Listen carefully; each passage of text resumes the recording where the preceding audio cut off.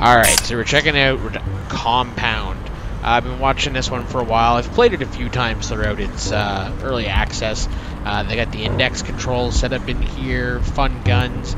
It's a roguelike shooter. Yeah, it's just survive as long until you're dead and keep going up the elevator. Pretty fun here. Let's go check out the first couple levels.